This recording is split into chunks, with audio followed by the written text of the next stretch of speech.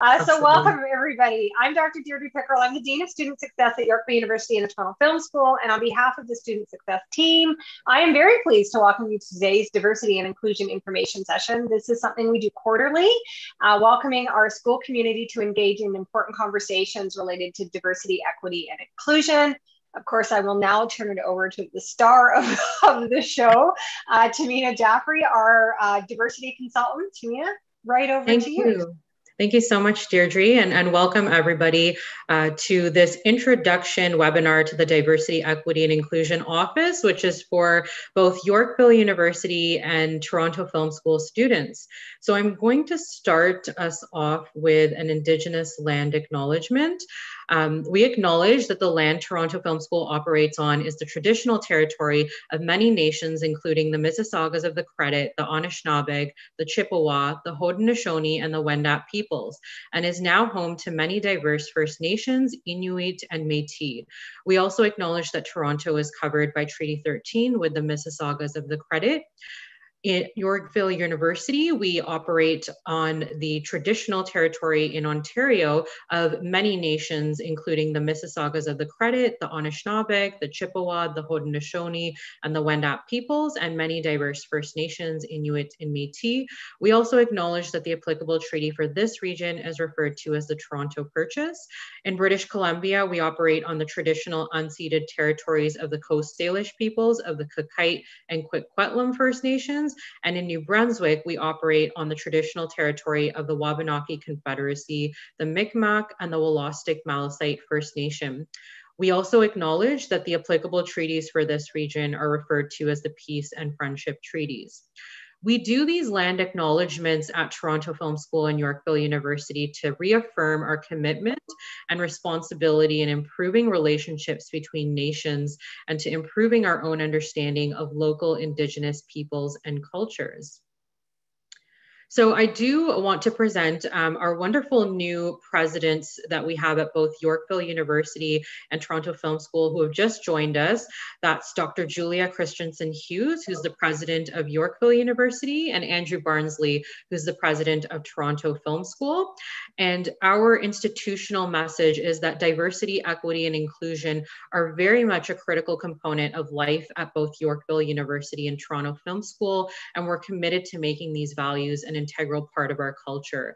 Just as we're committed to academic and professional excellence, we're also committed to providing educational services and employment that is focused on promoting the principles of diversity, equity, and inclusion. So I wanted to give a little bit of a intro to myself as well. Um, as I mentioned, my name is Tamina Jaferi, uh, also known as TJ in some circles um, at both YU and TFS. And I'm here to help uh, faculty, students, and staff with advice and consultation on diversity, equity, and inclusion matters.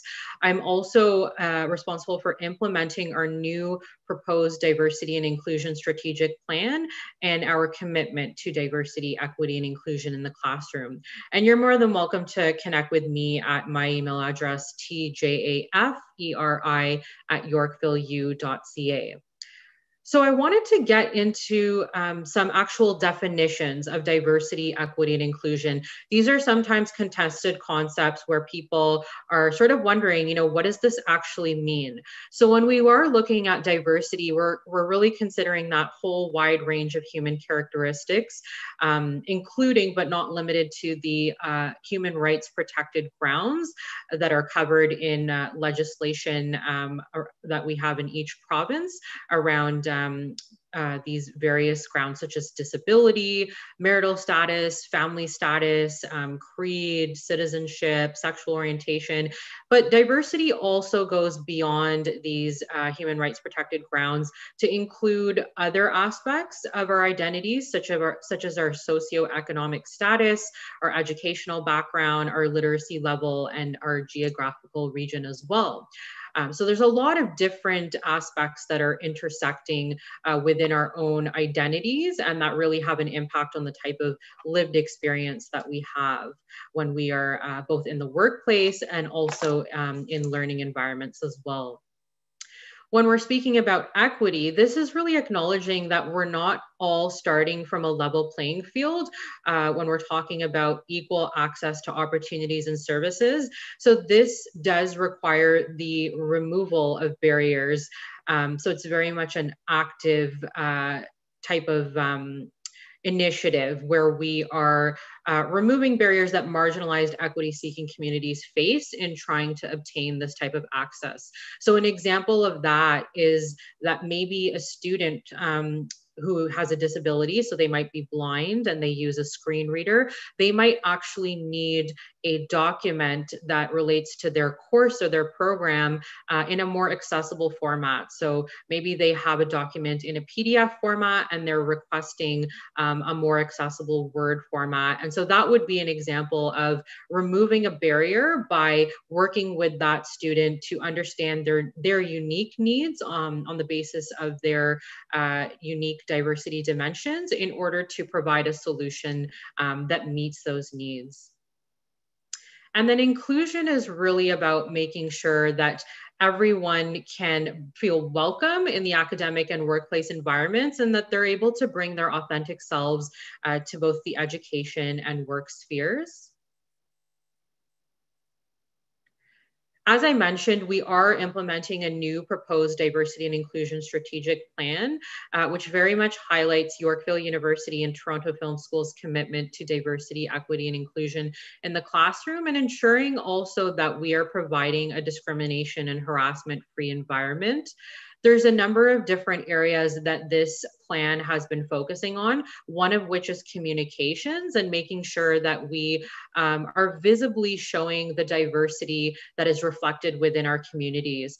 Um, so you're seeing these lovely graphics as well, which are, are part of this slideshow um, and which are, are, very much taken from our diversity calendar, which I'll be talking about in um, a few slides. And this, this really makes an impact in making sure that um, our diverse students, faculty, and staff feel that they are seen um, in our communications, whether that's internally or externally uh, on our social media platforms as well. Uh, we also have a focus in this plan on diversity data collection. So that's looking at um, providing opportunities for our community members to self-disclose when it comes to the various diversity dimensions that make up their identity so that we can get a better understanding of their needs and how we can um, uh, effectively create uh, more improved programs as well. Um, there's a policy review aspect to this plan as well. So we've been really looking at our various policies and procedures from a diversity, equity, and inclusion lens. Uh, another aspect of this plan is training and capacity building, where we're looking at uh, promoting and providing webinars and workshops on various DEI matters. Um, so this webinar, for example, would definitely fit under that type of capacity building so that we're um, generating more awareness about DEI within our community. And uh, another huge part of this plan um, is our diversity advisory councils, which we've convened uh, earlier this year and are made up of a diverse cross section of your peers um, and also other members of our Yorkville and Toronto Film School communities. And these are very much a mechanism whereby uh, everyone can um, provide feedback on any diversity, equity, and inclusion matters uh, that they feel are important to them. And generally, the plan really does focus on creating safe spaces for dialogue uh, where we can begin to talk about um, DEI issues, which are very complex and, and can also be um, emotionally charged and challenging as well, but we're definitely here uh, to help you navigate that. So I wanted to go into a bit more detail on our fabulous YU and TFS Student Diversity Advisory Councils. So as I mentioned, um, this is made up of uh, a number of different amazing people who are very passionate about DEI. Um, and this is a great venue where you as a student can bring up DEI issues that matter to you, either through your peers that are on these advisory councils and who I'll be introducing in a second, um, or through myself. Uh, we have more extensive information on the members and their bios on our websites. Um, and we're all working collectively at YU and TFS to promote DE&I and ensure that student voices are heard when it comes to decision making. Um, and these particular uh, members were um, selected through an application process. So that's certainly something that in the future students can get involved in when we have another recruitment drive. Um, but right now, these are the members of the YU Student Diversity Advisory Council members, and I would welcome you um, to definitely get in touch with any of them. We have Sura Al Mansour, who's a Bachelor of Business Administration student, Devani Savalia, who's a Bachelor of Interior Design design student, Demi Babatunde and Clay Roth, who are both MACP students in our counseling program. Um, of course, our, our wonderful co-host of this webinar, Dr. Deirdre Pickerell, who's the Dean of Student Success, um, and two people who many of you may know because of their uh, wonderful work coordinating um, our student life activities. So Ali Noor, who's the Student Life Coordinator in Ontario, and Pauline Tiongson, who's the Student Activities Coordinator in BC. Um, so as I mentioned, please feel free to reach out to any member if there's something that you'd like to bring uh, to the forefront um, of the organization when it comes to DE&I. On the TFS side, our Student Diversity Advisory Council members are Hussam Al Akbari, who's in the film production program, Brooke Carton, who's at the Toronto Film School online video production program, Linka Nitarika, who is in the Acting for Film, TV, and Theater program, and Balahan Gurel, who's in the TFSO Writing for Film and TV program. And of course, again, our Dean of Student Success, uh, Deirdre Pickerell. So again, definitely welcome you to get in touch with um, any of these members. I did want to highlight the diversity calendar that I was speaking about before as well. Um, this calendar was launched earlier this year and it's available on both MyYU and MyTFS. And it's very much about raising awareness and respecting uh, the diversity um, of the cultural, faith, uh, based days of significance um, that many of our community members uh, are a part of and they celebrate. Um, it's also got a functional aspect to it. So I would highly recommend referring to the tool when you're planning for any absences from assignments. Um, and I would recommend and encourage you to get in touch with the Academic Accommodations and Accessibility Office if you need to request um, such an accommodation uh, because you will be away, for example, uh, for um, a test or an assignment related to your program or course. Um, so this is uh, one of our, our great initiatives that uh, has been launched and very much informs um, our communications for the rest of the year and um, promoting and highlighting the different celebrations in our community.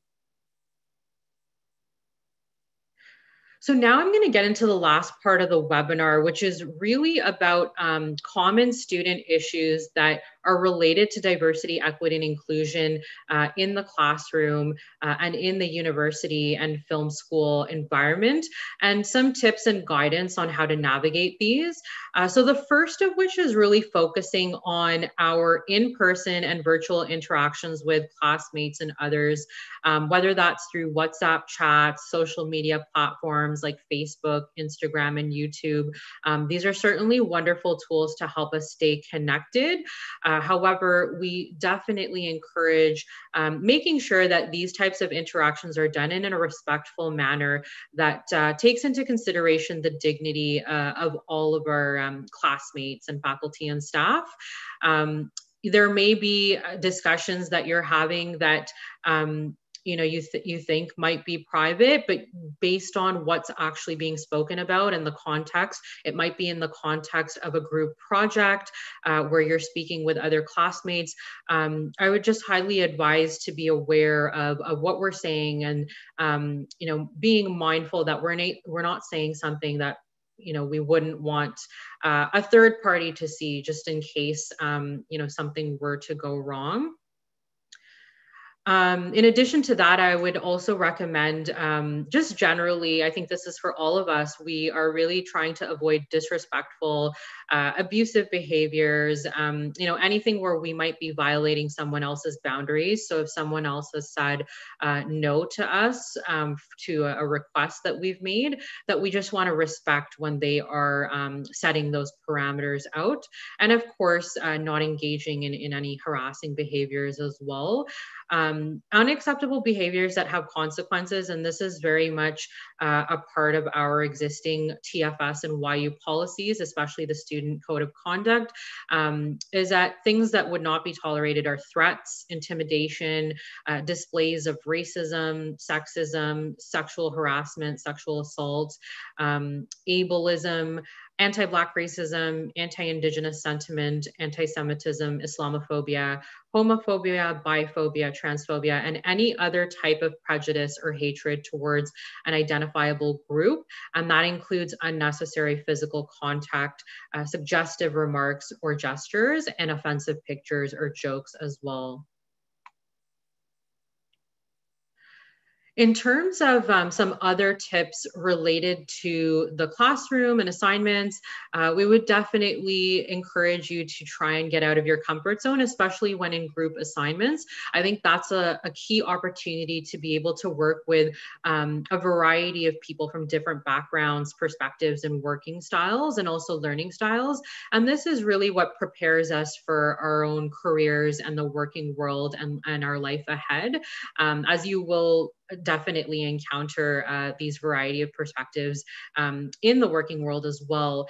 Um, so as I mentioned here on, on, the slide, whether you are new to Canada or not, um, definitely take advantage of the experience of, of being here and tapping into so many diverse cultures and experiences um, because it'll definitely uh, give you a more fulsome perspective um, and exciting uh, experience as well during your life as a student here.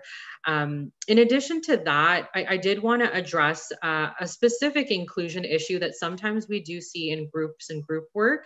Um, so we would request that you please speak in English when you are in group assignments or in class related activities. And that's really to help everyone feel included and respected. Um, obviously, when we're working in groups, we also need to understand uh, the directions and the instructions um, that are being given by our various uh, group members. So it's, it's also just just um, from a functional perspective, it really helps when we can all um, stick to English. And this also relates to student social activities as well, where we're really trying to create um, and foster a more inclusive uh, social experience for our students as well. But of course, this does not prevent you from speaking um, in your own language or another language on your own time. So just wanted to highlight uh, some of those parameters and, and guidance around that issue. Um, in addition to that, some of the other feedback that we've gotten from our, our international students in particular is that of course being at university being at the film school you are engaging with students from all different kinds of cultures and backgrounds. Um, and some of our international students have mentioned that um, sometimes they do feel shy opening up just due to uh, the level of fluent their level of fluency in english or perhaps um, a misconception about the image of, of their country of origin. Um, and they've told, uh, they've expressed that sometimes this causes them to be self-conscious and um, more hyper vigilant about that. And it, it really kind of pre, uh, creates a barrier in terms of helping um, in terms of allowing them to interact with their colleagues and making friends. So just something that we all want to be uh, conscious about and that we are actively actively confronting our own unconscious and conscious biases about um, someone's abilities, uh, maybe based on how well we think they speak English or um, other aspects of um, how they're acclimating to, to Canada and their new home. Um, so this very much impacts their access to a fulsome university and school experience. Um, and it's, it's a, a, really important thing for all of us to be aware of that um, and look at how we can make people feel more included and welcome. Um, another key aspect that I did want to address before we get into the question and answer period is that the classroom is very much a place for debate and exchange of thoughts. Uh, when it comes to diversity and inclusion conversations, it's inevitable that this will uh, sometimes become uncomfortable. So we, we do have to sometimes have uncomfortable conversations where people disagree with each other. Um, and it is possible to do this while remaining respectful of our differences at the same time. And a, a very common issue that we see a lot in the post-secondary context is um, this balancing act between academic freedom of expression with uh, human rights protections as well. So making sure that we're respecting the dignity of all people and that there are no expressions of hate towards any person or group. Um, so like any right in, um, in Canada and, and in our society, academic freedom of expression is not um, absolute and unlimited. Uh, we're always making sure that um, you know this is this is definitely taking into consideration um, equity seeking populations as well and the impact of speech uh, that may um, look as if it's uh, in the realm of hate or or harassment um, or discrimination. Um, so I just want to end with saying that the classroom is very much the best place for discussions on diversity and looking at your class materials through different lenses as well and through the perspectives of different groups. And that's certainly something that we welcome at Yorkville University and Toronto Film School. And the DEI office is absolutely committed um, to supporting those conversations as well. So I look forward to continuing um, to work with you all and, and helping to facilitate that in a way um, that helps us move forward in, in a positive and respectful way. I do want to wrap up uh, this part of the webinar before we get into the DEI questions and answers. But as I mentioned, I welcome you to connect with me at my email address, which is tjaferi at yorkvilleu.ca.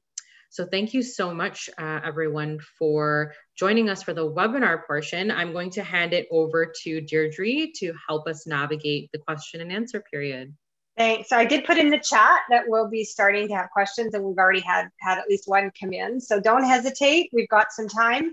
Um, uh, while TJ is here, uh, let's get some questions to her. So I have, don't worry about raising your hand or anything, just pop right into the Q&A panel at the bottom of your screen and I will get to as many questions as I can. Um, so we did have a, a, a, first question, TJ. So thank you for running this, this webinar. So, um, I'm just wondering if we can get the record of the event and wondering how I can reach out, uh, reach the community members. I think that that's the, um, the Diversity Advisory Council. So I'll let everybody know that we are actually live streaming on YouTube right now. So you can rewatch this session and many others anytime you like uh, by navigating to going to YouTube, navigating to the University channel, and uh, you'll generally find us under the live stream sub channel. I'm not really sure if that's the right um, the right language. And then I see Tamina, you're putting us something in the chat. So do you want to tell us what that is?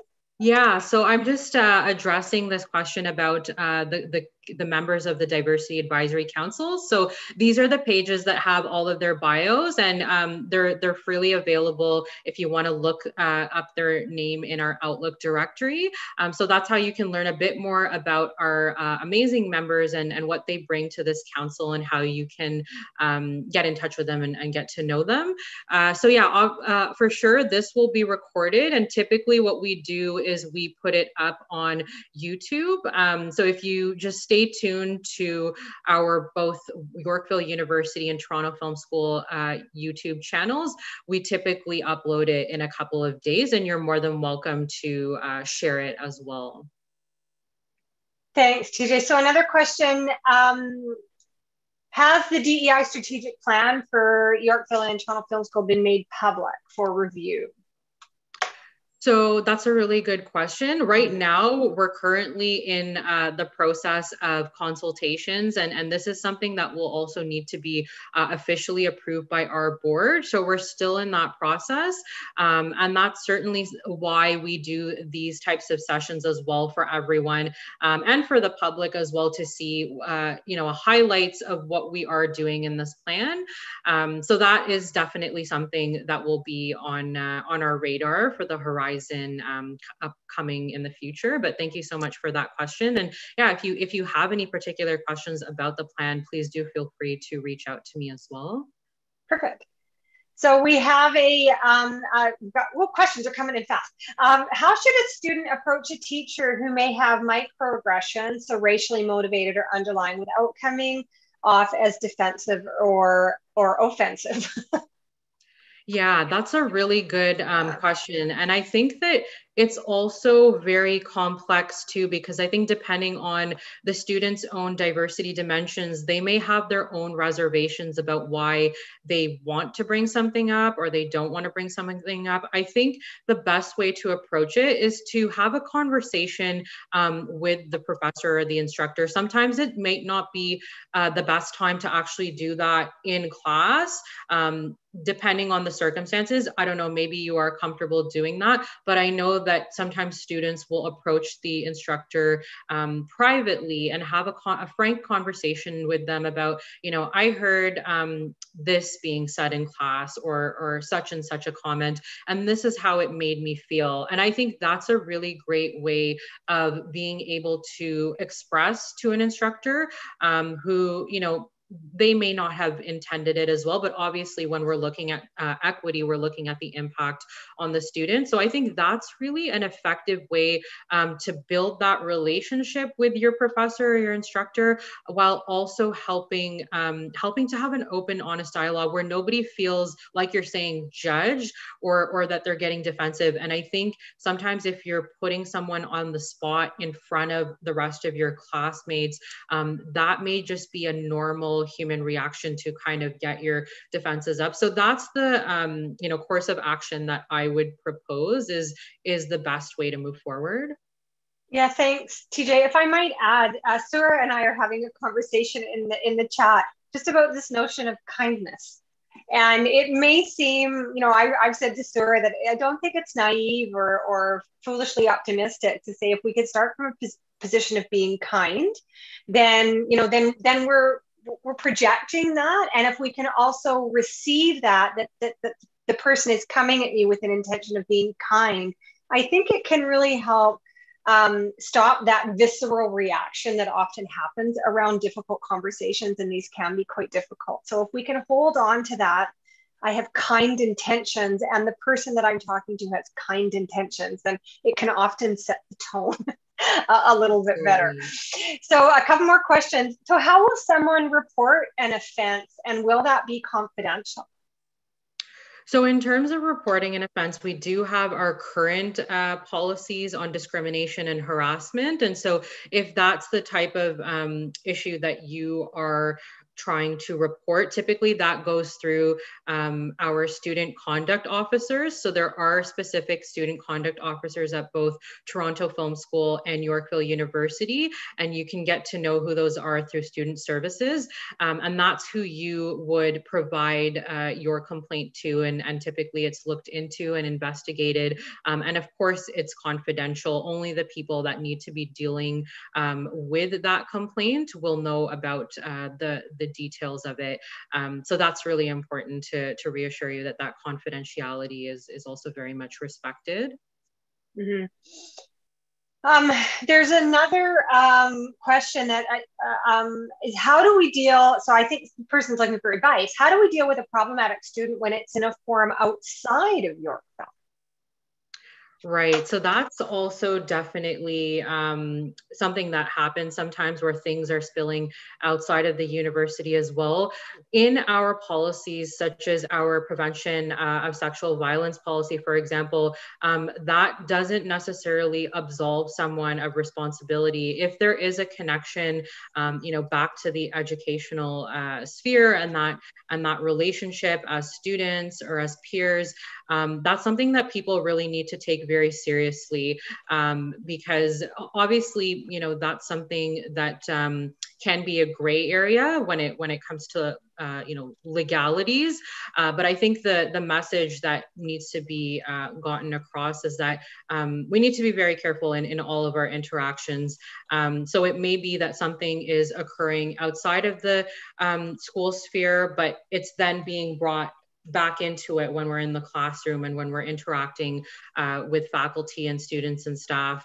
Um, so that would definitely need to be looked at, obviously on a case by case basis. But um, generally, I think it is important to be extremely mindful of that and that um, there, those parameters can be gray and they can be fluid. Um, so it doesn't necessarily guarantee that um, there's a neat line that we can say this happened completely outside of the school context, um, whereas you know, whereas it didn't. So that's just something that I think we should keep in mind. Mm-hmm. Mm-hmm. Yeah, great point. Um, so uh, just another comment in the chat. We're, we we actually don't have any open questions at this point. Um, I agree with your comments. I often find professors to be open to conversation. And the recommendation is to email and schedule a phone call or Zoom meeting. And that's kind of the piece I wanted to pick up on. I think sometimes I see students that have to have difficult conversations either with each other or with their instructors, and they do it in email because that can feel safer. But actually, there's so much lost in communication just when it's in writing, and mm. it's very easy for people to pick up tone that isn't intended. So, as difficult as it can be, I would tend to really recommend in any of these scenarios that you're actually talking to somebody um, either on the phone, in person, or on Zoom, where you just you get the vocal inflections and all of those sorts of things that can help with communication.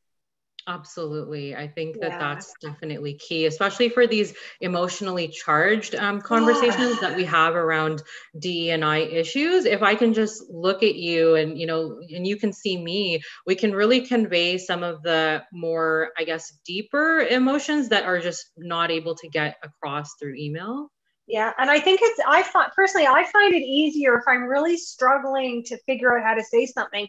When I'm talking to somebody, I can say I don't know how to say this.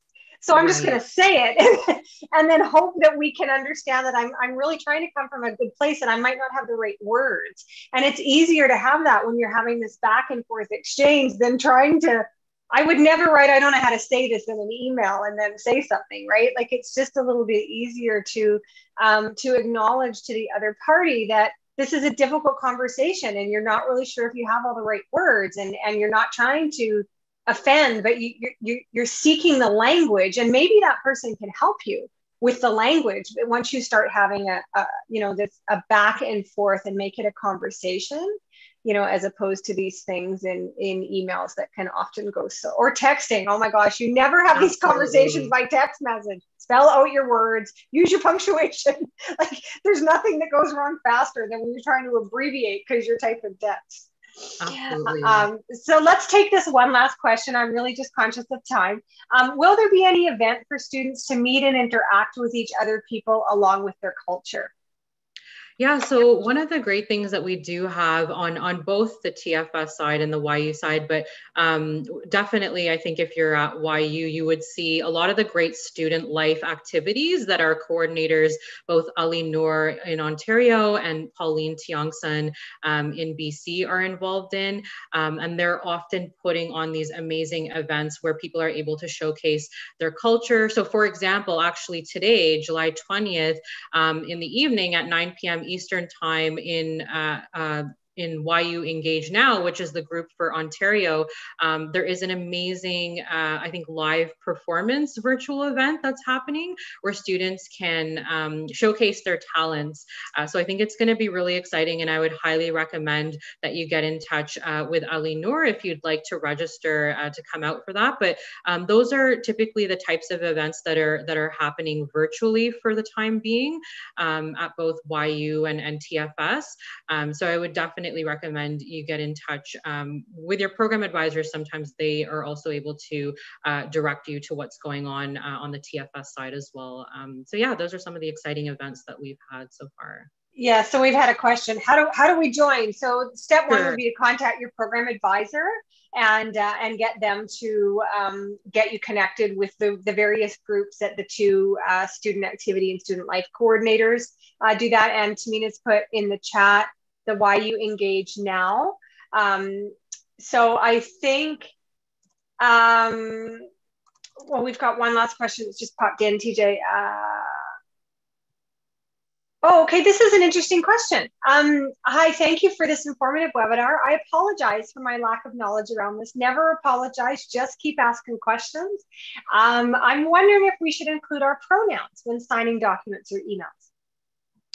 Yeah, so that's definitely something um, that's very much uh, recommended. And when it comes to pronouns, we're also sensitive that it's it's something that's self voluntarily disclosed. Yeah. So, um, I mean, for example, you know, I have them, many people have them, and we are looking at operationalizing that more throughout our organization as well, so that um, more people have an opportunity to do that. But that's something that I would recommend doing if you feel comfortable um, doing that in your own signature.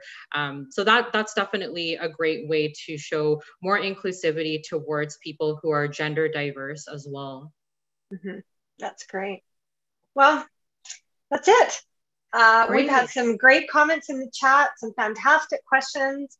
Um, we will do this again. I don't know when, but we are going to do this again. I can't quarterly, remember. Can't, yes. Quarterly. So yeah. whatever that means for us, probably in the fall. Probably um, in the um, fall around October. Yeah. So the presentation tends to be really similar because we've always got new students coming in, but the conversations that we have are always different because, of course, it depends on our attendees. So I really encourage people to come back. I think you take away a little bit more out of every session. I know I do. And uh, don't hesitate to reach out, um, whether it's to myself, to TJ, or to anybody on the diversity uh, councils. We're here to help you. And if you've got suggestions for activities, then you know reach out to i know in the student success center we've done lots of events for students that were student asked you know it's like could you do x and if we can do it we will we will um, we will make it happen we we can't say yes to everything but boy we darn sure try so thank you everybody for taking the time today tj it's always good to see you and and, Likewise. and learn from so you thanks so much for doing this. So, Sarah, you know what's coming because I always end our events. I wish you all well. Enjoy the rest of your day and please be kind to one another. Take care.